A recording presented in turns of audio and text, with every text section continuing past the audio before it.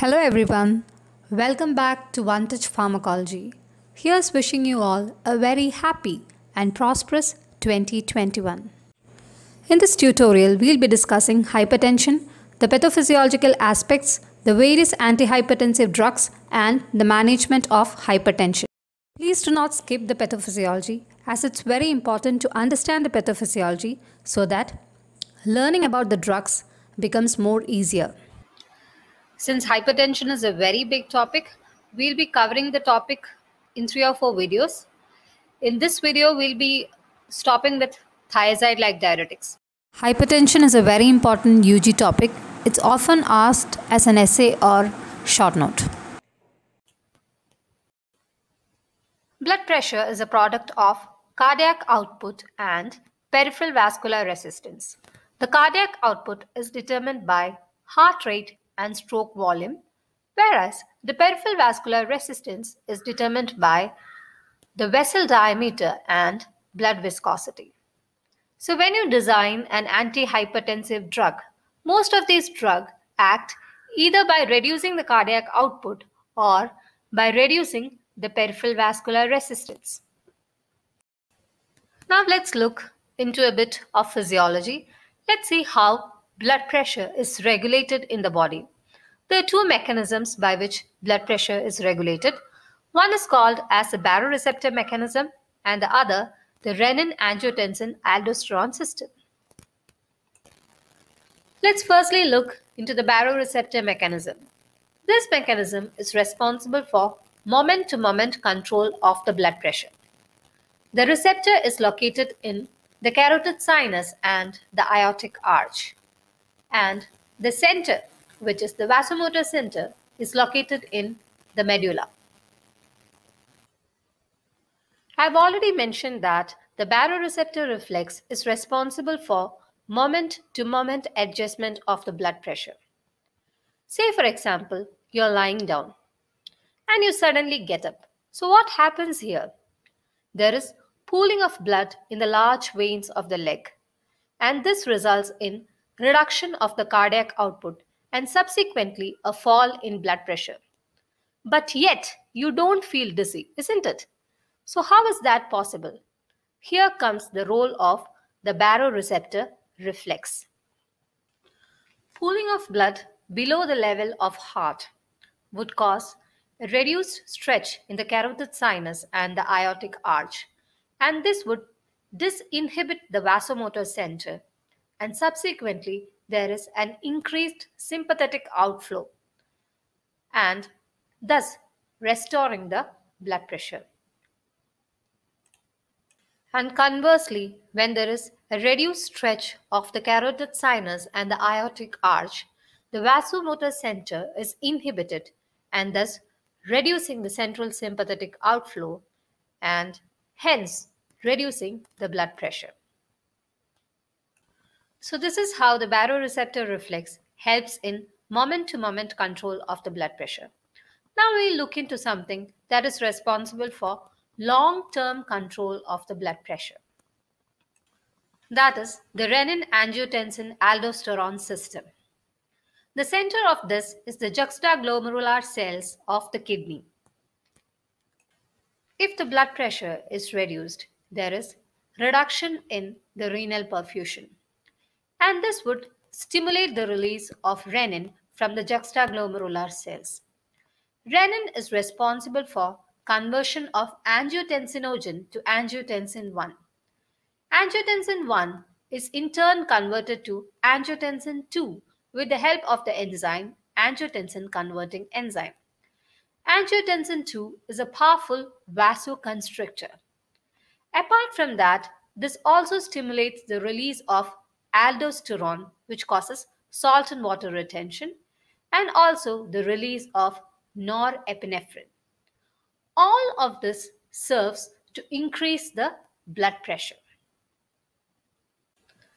When do you say someone has hypertension?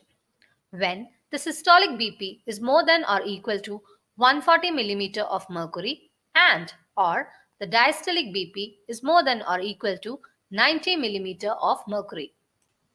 Based on the JNC 8 guidelines for people who are more than or equal to 60 years of age, the treatment should be started only when the BP is more than or equal to 150 bar 90 millimeter of mercury. So how do you diagnose hypertension clinically? So let's see what are the main symptoms of hypertension. Hypertension is a silent killer. That means it is mostly asymptomatic unless and until it presents as an end organ damage. The patient can remain asymptomatic for ages and can present to the emergency department as case of stroke or as a coronary artery disease or in heart failure or as a case of cardiomyopathy. It can also present as a chronic kidney disease and as retinopathy. Looking into the etiology of hypertension, hypertension can be essential or primary hypertension, wherein the cause of hypertension is unknown or it is idiopathic. Secondary hypertension, where you have a well defined cause. It can be renovascular, adrenal, or due to some endocrine pathology. Management of hypertension. Management basically involves some lifestyle changes and drug therapy. Lifestyle modifications include salt restrictions, avoiding junk and oily food, including more of vegetables and whole cereals in your diet, include yoga and exercise into your daily activities. Drug therapy of hypertension. Antihypertensive drugs include diuretics, RAS inhibitors, sympathetic inhibitors, calcium channel blockers, and vasodilators. Let's first have a look into diuretics. Different classes of diuretics used in the management of hypertension includes loop diuretics, thiazide-like diuretics, and aldosterone antagonists. The role of diuretics as an antihypertensive drug. Diuretics act by reducing the cardiac output. Let's see how. Diuretics causes natriuresis. Thus, it reduces the plasma volume and hence it reduces cardiac output and thus the blood pressure. Thiazide-like diuretics. Few examples of drugs from this group include hydrochlorothiazide, chlorthalidone, and indapamide. They are considered as one of the first-line drugs in the management of hypertension. Mechanism of action is inhibition of sodium chloride symporter in the distal tubule. The rationale of thiazides as an antihypertensive drug. The initial reduction in blood pressure is due to diuresis, which reduces the cardiac output. Later on, the compensatory mechanisms comes into play and thus the sodium and plasma volume is restored. But on long-term usage, fall in BP is due to reduction in total peripheral resistance because of a small persisting deficit in sodium volume, thus improving the vessel wall compliance and decrease responsiveness to vasoconstrictors. Advantages of using thiazide-like diuretics as antihypertensives. These group of drugs have a longer duration of action compared to loop diuretics, permitting once daily dosing. They have a flat dose response curve, meaning there are less chance of electrolyte imbalances and other adverse effects. There is no tolerance or fluid retention. The chances of postural hypotension is very low because the sympathetic system and the baroreceptor reflexes are spared. The loss of calcium in urine is inhibited, thus making thiazides beneficial in postmenopausal women who are especially susceptible to osteoporosis.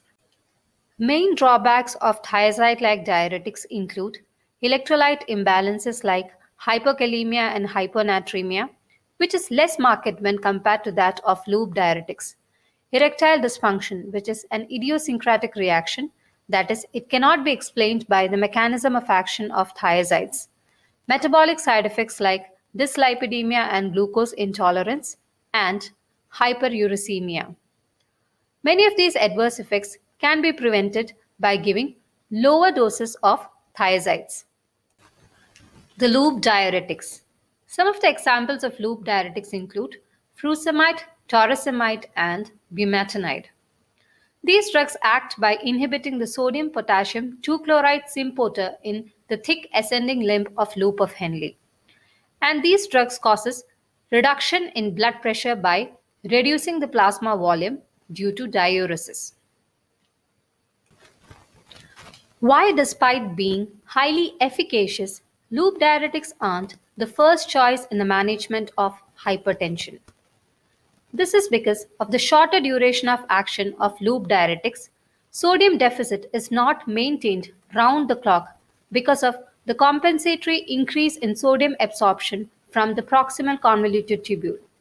And these drugs are more liable to cause electrolyte imbalances when compared to that of thiazide-like diuretics. Loop diuretics are preferred in hypertensives with chronic kidney disease where thiazide-like diuretics are ineffective. Or in patients with comorbidities like heart failure, which warrant the use of loop diuretics. Aldosterone antagonists like spironolactone and eplerenone. These group of drugs are used in conjunction with thiazide-like diuretics to compensate for the potassium loss. They also augment the antihypertensive effect of thiazides. So in this tutorial, we have discussed how blood pressure is being regulated in the body, about the various classes of antihypertensive drugs that are being used, and under that we have only discussed diuretics. Under diuretics, you have loop diuretics, thiazide-like diuretics, and aldosterone antagonist. The loop diuretics and aldosterone antagonists are only used as adjuvants, whereas thiazide-like diuretics are the main class of antihypertensive drugs. They are one of the first line drugs in the management of hypertension. Thiazide-like diuretics are preferred because compared to loop diuretics, the chances of hypokalemia and other metabolic side effects are lesser because the dose of thiazides as an antihypertensive is much lower than that when thiazides are used as diuretics. If you like this video, please give a thumbs up and don't forget to like, share and subscribe for more videos.